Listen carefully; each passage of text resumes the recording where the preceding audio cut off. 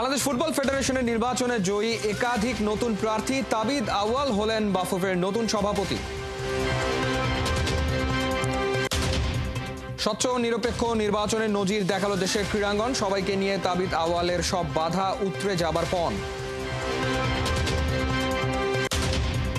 তিন ফরম্যাটের অধিনায়কত্ব ছাড়ছেন নাজমুল হোসেন শান্ত, বোর্ডকে জানিয়ে দিয়েছেন নিজের চূড়ান্ত সিদ্ধান্ত। মৌসুমের প্রথম এল ক্লাসিকো ঘিরে চরম উত্তেজনা রিয়াল মাদ্রিদের ঘরের মাঠে চ্যালেঞ্জ জানাবে বার্সেলোনা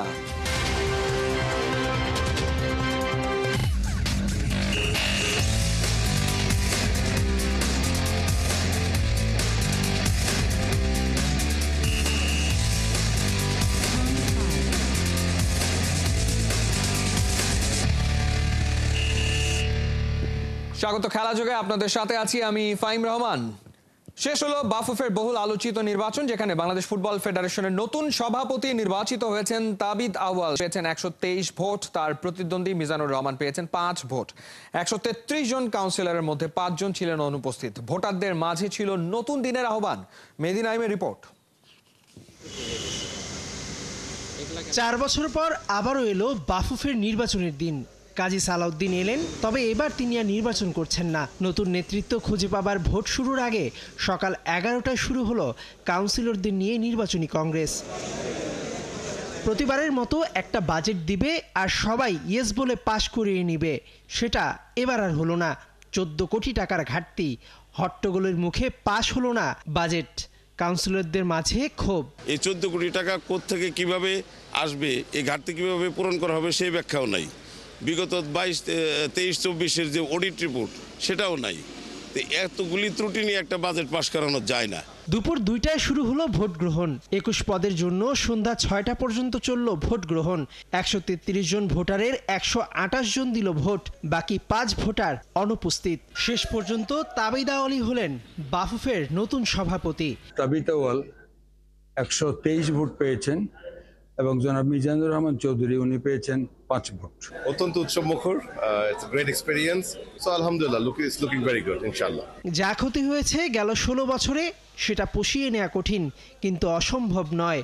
বিশ্বাস দায়িত্ব নিতে যাওয়া নতুন কর্তাদের। আমরা চাই বাংলাদেশের ফুটবল র্যাঙ্কিংয়ে অ্যাটলিস্ট দশ থেকে বারো ধাপ আগামী পাঁচ বছরে যাতে চার বছর পাঁচ বছরে যাতে এগিয়ে যায়। আমার মূল টার্গেট থাকবে প্রান্তিক লেভেলে খেলাগুলি চালানো এবং ওখান থেকে ট্যালেন্টগুলি তুলে নিয়ে আসা। মেহেদি নাইম একাত্তর।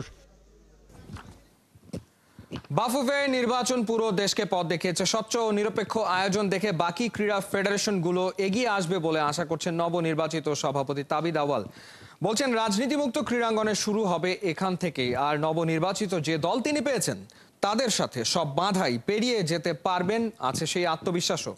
খালিদ জামিলের রিপোর্টে বিস্তারিত।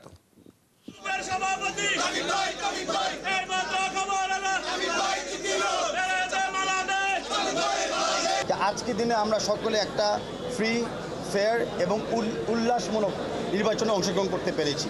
তো ক্রেডিটটা যাচ্ছে আমাদের আমাদের স্পোর্টস উপদেষ্টার কাছে আমি অবিলম্বে ওনাকে ধন্যবাদ জানাচ্ছি আপনার মাধ্যমে। আর আগামীতে আমি বিশ্বাস করি যে আরও যে ফেডারেশন নির্বাচনগুলো হবে, এই উল্লাসমূলক পরিবেশও সৃষ্টি হবে। বাংলাদেশকে ফিফার র্যাঙ্কিংয়ে একশো পঁচাশি নম্বরে রেখে বিদায় নিলেন কাজী সালাউদ্দিন। সেই জায়গা থেকে বাংলাদেশের এই পুরুষ ফুটবল দলের উন্নয়নটা তো আর মুখের কথা নয়। করতে পারব বললেই করা যায় না। ভালো খেলে সেটা করতে হবে, আর এর পেছনেই আসলে অনেক কিছু জড়িত।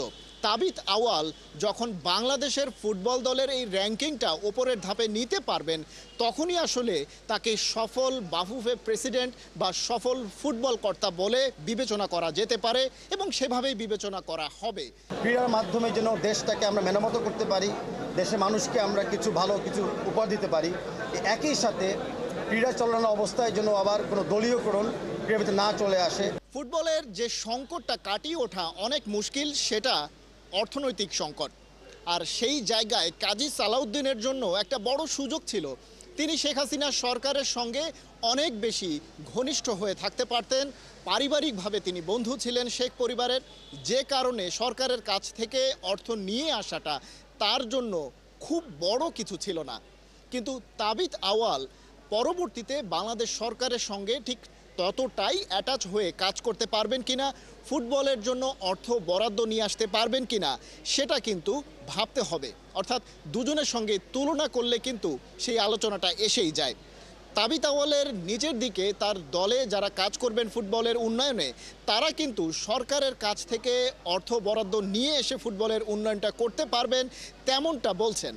কিন্তু সেই বলাটা করাই রূপান্তরিত করতে পারলেই কেবল ফুটবলে যে পরিমাণ মানি ইনজেক্ট করতে হবে, সেই চাহিদাটা পূরণ করা সম্ভব। যে আমাদের সিনিয়র ভাইস প্রেসিডেন্ট একটা ফরওয়ার্ড লুকিং থ্রি সিক্সটি প্রোগ্রামও আপনাদের মাধ্যমে পেশ করেছে। ওনাদের এই ডকুমেন্টটাকে সামনে নিয়ে আমরা আমাদের প্রথম এক্সিকিউটিভ মিটিংয়ে বাকি যে মেম্বাররা আসবে, তাদেরকে নিয়ে আমরা ফাইনাল সিদ্ধান্তগুলো নিব। আর অবশ্যই আমাদের ফুটবলটাকে এগিয়ে নেওয়ার হবে আমাদের সব লক্ষ্যমাত্রা। এই দলকে দেখে আমি বিশ্বাস করি কোনো কাজই চ্যালেঞ্জিং না। আমরা অবশ্যই প্রত্যেকটা চ্যালেঞ্জ মোকাবেলা করব। জনগণের যে প্রত্যাশা, সেটা অবিলম্বে আমরা মিট করব। প্রথমবারের মতো বাফুফের নেতৃত্বে এসেছেন তাবিত আওয়াল।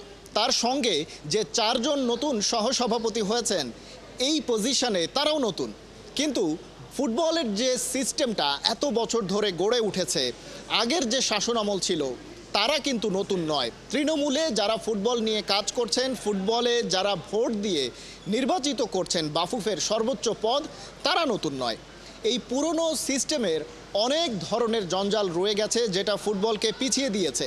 ঠেলতে ঠেলতে র্যাঙ্কিংয়ের তলানিতে নিয়ে গেছে নীতি নৈতিকতার দিক থেকেও নিচের দিকে চলে গেছে ফুটবলের পরিকাঠামোর অনেকখানি।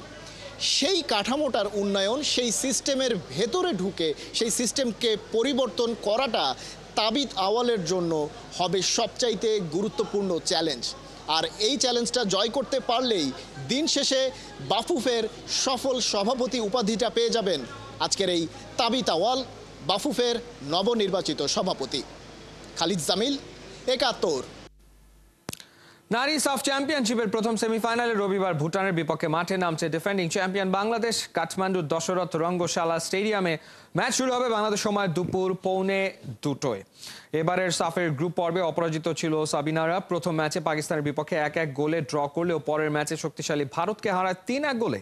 দুই ম্যাচে দুই গোল করে বাংলাদেশের টপ স্কোরার তাহুরা খাতুন সাফের সাত আসরে এ নিয়ে ষষ্ঠবার সেমি খেলছে বাংলাদেশ। এর মধ্যে দু হাজার ষোলো সাফে ভারতের কাছে হেরে রানার্স আপ হলেও দু হাজার আসরে। সেই ভারতকে হারিয়ে এই প্রথমবারের মতো শিরোপা জেতে বাংলার বাঘিনীরা। কাকতলীয়ভাবে ওই আসরেও সেমিতে বাংলাদেশের প্রতিপক্ষ ছিল ভুটান, যাদের আট শূন্য গোলে হারিয়েছিল সাবিনারা। সেই ধারা এবারও অব্যাহত রাখার কথা শুনিয়েছেন বাংলাদেশ দলের সহ অধিনায়ক মারিয়া মান্ডা এই যে ভুটানের সাথে খেলেছি, সে আগের ভুটান আর এখনকার ভুটান কিন্তু তফাৎ আলাদা। কেননা তারা অনেক ইমপ্রুভ করেছে, তো আমরাও, আমরা ভালোভাবেই সেভাবে প্রস্তুত নিয়ে এসেছি। ভুটানকে তো দুর্বল বাবা যাবে না। আগে আটটা গোল দিয়েছি বলে কি এখন দিতে পারব, সেটা আসলে নিয়ে মাঠে নামা মানে উচিত না। তো চেষ্টা করব যে আমরা গোল তাদেরকে দেইনি, সেভাবে আমরা গোল দেওয়ার চেষ্টা করব, এভাবে মাঠে নামবো। কোন ফরম্যাটেই আর ক্যাপ্টেন্সি করতে চান না নাজমুল হোসেন শান্ত। তিন ফরম্যাটের অধিনায়কত্ব থেকে নিজেকে সরিয়ে নেওয়ার ইচ্ছের কথা জানিয়েছেন বিসিবিকে। তবে শান্তর সাথে কথা বলে চূড়ান্ত সিদ্ধান্ত নেবেন বিসিবি সভাপতি। এই মুহূর্তে দেশের বাইরে আছেন বোর্ড সভাপতি ফারুক আহমেদ। নাইয়ান বিন জসিমের রিপোর্ট। টেস্ট ক্যাপ্টেন হিসেবে শেষ ম্যাচ খেলতে শান্ত চট্টগ্রামের পথে। জি, ঠিকই শুনছেন। দায়িত্ব পাবার আট মাসের মধ্যেই কঠিন সিদ্ধান্ত শান্ত নিজেই নিতে যাচ্ছেন। বিসিবিকেও সাফ জানিয়ে দিয়েছেন। প্রশ্ন হচ্ছে, কেন শান্তর এমন সিদ্ধান্ত? জানা গেছে, শুধু নিজের পারফরমেন্স না, পেছনে নাকি আছে আরও বেশ কিছু কারণ। বাংলাদেশের তিন ফরম্যাটের ক্যাপ্টেন হিসেবে নাজমুল হোসেন শান্তর ক্যাপ্টেন্সি আর থাকছে না। তাকে সরিয়ে দেওয়া হচ্ছে, তাকে অব্যাহতি দেওয়া হচ্ছে। এই খবরটা গত কয়েকদিনে ক্রিকেট পাড়ায় বেশ ভালোভাবে ছড়িয়ে গেছে। গুঞ্জনটা আসলে কতটুকু সত্যি সেটা ঘাটতে গিয়ে বা উদ্ধার করতে গিয়ে জানা গেছে। নাজমুল হোসেন শান্ত নিজেই আসলে এই মুহূর্তে বাংলাদেশের হয়ে আর ক্যাপ্টেন্সি করতে চাচ্ছেন না। একটা, দুইটা ফরম্যাটে না, শান্ত ইতিমধ্যেই নাকি বিসিবিকে জানিয়ে দিয়েছেন, তিনি তিন ফরম্যাটেই আর বাংলাদেশের হয়ে ক্যাপ্টেন্সি করতে চাচ্ছেন না। সবশেষ ভারতের বিপক্ষে যে টি টোয়েন্টি সিরিজটা বাংলাদেশ হেরেছে, তারপর দেশে এসেই তিনি জানিয়েছেন টি টোয়েন্টির ক্যাপ্টেন্সি তিনি আর কন্টিনিউ করতে চাচ্ছেন না। বিসিবি তারপর তার কাছ থেকে জেনেছে, ঢাকা টেস্ট চলাকালীন সাউথ আফ্রিকার বিপক্ষে যে তিনি আসলে টেস্টেও ক্যাপ্টেন্সি করতে চান না এবং ওয়ানডেতেও তিনি আর কন্টিনিউ করতে চান না তার ক্যাপ্টেন্সিটা সেটা ঢাকা টেস্ট চলাকালীন দ্বিতীয় দিনেই বিসিবি তার কাছ থেকে জানতে পেরেছে। বিসিবি এখন কি সিদ্ধান্ত নিবে? সেটা নিয়ে আলোচনা এখন হবার কথা। বিসিবি প্রেসিডেন্টের জন্য অপেক্ষা, যিনি কিনা এই মুহূর্তে দেশের বাইরে আছেন। বিকল্প কে হতে পারেন, সেটা নিয়েও কিন্তু ভাবনা, চিন্তা চলে এসেছে মেহেদি হাসান মিরাজ। খুবই যোগ্য দাবিদার। তিনি আসলে ক্যাপ্টেন হতেই পারেন। সবচেয়ে মজার বিষয়, বিসিবি নাকি আসলে শান্তর কাছ থেকেই বিকল্প হিসেবে মেহেদি হাসান মিরাজের নামটাও জানতে পেরেছে। ঠিক এই জায়গা থেকে শান্তকে কি আসলে একটা ফরম্যাটে রাখা হবে? এরকম আলোচনাও চলছে। তাকে হয়তো বা ওয়ান ডে ফরম্যাটে রেখে দেওয়া হবে। কিন্তু শান্ত কি আসলে শুধুমাত্র একটা ফরম্যাটে ক্যাপ্টেন্সি করবেন? কারণ তিনি তিন ফরম্যাট থেকে আসলে ক্যাপ্টেন্সি থেকে অব্যাহতি চেয়েছেন।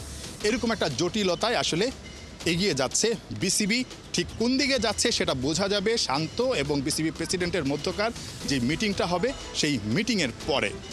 কিন্তু দায়িত্ব পাবার আট মাস পরে শান্তর দায়িত্ব থেকে সরে যাওয়াটা আসলে কতটুকু যৌক্তিক বা যুক্তিযুক্ত সেটা নিয়েও কিন্তু অনেকটা প্রশ্ন আছে বা অনেকে প্রশ্ন তুলছেন। যদি শান্তকে পরিবর্তন করে অন্য কাউকে আনি তার সাথে যদি এমন করি, তাহলে দুদিন পরে তো আমরা ক্যাপ্টেন খুঁজে পাবো। যে কোনো দলের যদি আমরা কোনো ক্ষতি করতে চাই, তার সবচেয়ে ইম্পর্টেন্ট সেই দলের ক্যাপ্টেনের পিছনে লাগে। ক্যাপ্টেন যদি আনসেটেল হয়, তাহলে দলটার জন্য সেটেল পারফর্ম করা খুব ডিফিকাল্ট তো আমার কাছে মনে হয় যে যাকেই যদি আমরা শান্তকে পরিবর্তন করি, যাকেই যদি অন্য কাউকে আনি কিংবা শান্ত যদি থাকে, যতদিন ক্যাপ্টেন থাকবে, তাকে একটু কুশন দেওয়াটা আসলে আমাদের খুব ইম্পর্টেন্ট একজন ক্যাপ্টেন্সকে আমি বিবেচনা করব দু বছর পরে। যেটা আমার কাছে মনে হয় যে ব্যাটিং সে খারাপ করছে না। আপনি যদি দেখেন যে টেস্ট ম্যাচের লাস্ট দশ বারোটা ইনিংস আমি দেখেছি যে, প্রত্যেক ম্যাচেই সে সেট হচ্ছেন। উনিশ, তেইশ, বত্রিশ, এই ধরনের ইনিংসে খেলছেন। বড় করছেন না। গত আট মাসে টেস্টে শান্তর নেতৃত্বে তিনটা জয় পেয়েছে বাংলাদেশ। যেখানে আছে পাকিস্তানের মাটিতে পাকিস্তানকে সিরিজ হারানোর কীর্তি। শান্তর ক্যাপ্টেন্সিতে ওয়ানডেতে তিন ম্যাচে বাংলাদেশের জয়, নয়টা ম্যাচ খেলে, আর টি টোয়েন্টিতে চব্বিশ ম্যাচে দশটা জয়। নাহিয়ান বিন জসিম, একাত্তর।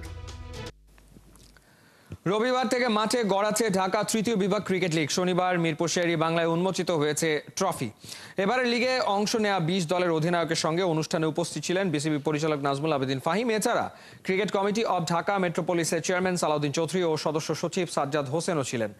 মোট ছয়টা মাঠে চলবে এবারের তৃতীয় বিভাগ লিগের লড়াই। রবিবার উদ্বোধনী দিনে গড়াবে পাঁচটা ম্যাচ। লিগে আম্পায়ারিং এর মান ঠিক রাখতে বেশ তৎপর আয়োজক সিসিডিএম।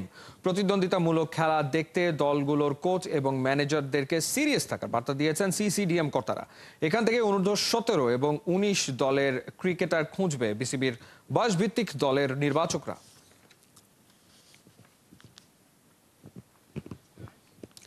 বারো বছর পর ঘরের মাটিতে টেস্ট সিরিজ হারের স্বাদ পেল ভারত। পুনেতে দ্বিতীয় টেস্টে নিউজিল্যান্ডের কাছে একশো তেরো রানে ধরাশায়ী হয়েছে কোহলিরা। এক ম্যাচ হাতে রেখে সিরিজ হারে টেস্ট চ্যাম্পিয়নশিপের ফাইনাল ঘিরে এখন ভারতের চারপাশে অনেক যদি কিন্তু বিস্তারিত পার্থমণিকের রিপোর্টে। পুনে টেস্টের সবে মাত্র তৃতীয় দিন। লং অন দিয়ে জাদেজার শট, টিম সাউদির তালুবন্দি হতেই গোটা কিউই শিবিরে উদযাপনের ঢেউ। এই উৎসব শুধু ম্যাচ জয়ের নয়, এই উৎসব ভারতকে তাদের মাটিতে এক যুগ পর টেস্ট সিরিজ হারানোর উপলক্ষও বটে। অথচ গোমরামুখ রোহিত শর্মাই বাংলাদেশ সিরিজের আগে অহংকারের সুরে বলেছিলেন, সবাই তাদের হারাতে চায়, এসব নাকি তিনি উপভোগ করেন। তবে কি ভারত কাপ্তান এই মুহূর্ত উপভোগ করছেন? পুনে টেস্টে ভারতের সামনে টার্গেট ছিল তিনশো উনষাট, কিন্তু বিরাট, গিল, পান্থদের মতো বড় নামও দলের ভরাডুবি ঠেকাতে পারেননি। উল্টো প্রমাণ করেন, বাকি দলগুলোর মতো তারাও তিন দিনে টেস্ট ছাড়েন ব্যাঙ্গালোর টেস্টে হারের পর পুনেতে স্পিনিং ট্র্যাক বানিয়ে নিউজিল্যান্ডকে আটকানোর ছক ছিল ভারতের। কিন্তু এই প্ল্যান যে এমন বুমেরাং হয়ে ফিরবে, তা ভাবেনি বিসিসিআই। অশ্বিন ওয়াশিংটন সুন্দরদের সাথে পাল্লা দিয়ে উইকেট তুলেছেন Mitchell Santner, Glenn Phillips, Ajaz প্যাটেলরা। ভারতের বিশ উইকেটের আঠেরোটাই তুলে স্বাগতিকদের লজ্জায় ডুবিয়েছেন এই তিন স্পিনার। অথচ ভারতের ছিল যশস্বী, রোহিত, গিল, কোহলি, পান্থ, সরফরাজ জাদেজাদের মতো অভিজ্ঞ আর তারুণ্যের মিশেলে দাপুটে এক ব্যাটিং লাইন আপ কিন্তু এদের নিয়েই প্রথম ইনিংসে একশো ছাপ্পান্ন ও পরেরটায় দুইশো পঁয়তাল্লিশে অল আউট হতে হয় তাদের। নিউজিল্যান্ডের কাছে টানা দুই টেস্ট হারের মধ্য দিয়ে ভারতের টানা তৃতীয়বারের মতো টেস্ট চ্যাম্পিয়নশিপের ফাইনাল খেলার সম্ভাবনা কিছুটা হলেও চ্যালেঞ্জের মুখে পড়ে গেল। পুনে টেস্টের আগে তাদের উইনিং পার্সেন্টেজ ছিল আটষট্টি দশমিক শূন্য ছয়। এখন সেটা নেমে ঠেকেছে বাষট্টি দশমিক আট দুয়ে ভারত এখন পর্যন্ত টেবিলের টপে থাকলেও অস্ট্রেলিয়া শ্রীলঙ্কার সাথে ব্যবধান কমেছে। নিউজিল্যান্ডও সাউথ আফ্রিকাকে হটিয়ে উঠে এসেছে চার নম্বরে। তাহলে টেস্ট চ্যাম্পিয়নশিপ ফাইনাল খেলার কি সমীকরণ অপেক্ষা করছে রোহিতদের সামনে? উত্তর হলো, ভারতকে তাদের বাকি ছয় ম্যাচের চারটাতেই জিততে হবে যদি তারা অন্যদের উপর ভরসা না করে সরাসরি ফাইনাল খেলতে চায়। কিন্তু কাজটা যে অতটা সহজ নয়, তা তো সবারই জানা। এই ছয় ম্যাচের একটা নিউজিল্যান্ডের বিপক্ষে আর পাঁচটা অস্ট্রেলিয়ার বিপক্ষে তাদের মাটিতে। সিরিজ হারের পর এখন মুম্বাই টেস্টের দিকে তাকিয়ে ভারত ক্যাপ্টেন রোহিত শর্মা। জানিয়েছেন ওয়াংখেড়েতে আরও বেটার ইন্টেন্ট বেটার আইডিয়া এবং বেটার মেথড নিয়ে নামবে টিম ইন্ডিয়া পার্থ বণিক, একাত্তর। চলছে খেলাযোগ সরাসরি সংবাদ অনুষ্ঠান দেখতে চোখ রাখুন একাত্তরের ফেসবুক পেজ এবং সাবস্ক্রাইব করুন একাত্তরের ইউটিউব চ্যানেলে একাত্তরের সাথেই থাকুন।